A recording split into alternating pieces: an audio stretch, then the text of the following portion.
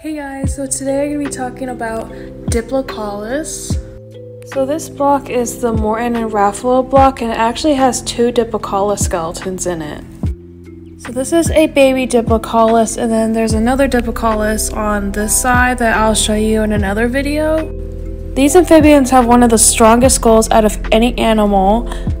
Diplocaulus eye sockets are on the top of their head which is a classic amphibian quality. This is a defense mechanism which allows them to see a broader area of their surroundings.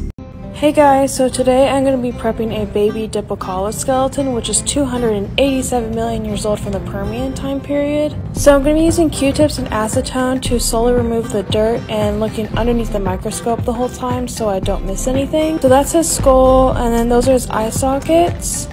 And then that's his spinal column, which is where I'm pointing at now. And then you can see those little ribs sticking off the vertebrae. To follow more for more paleo content,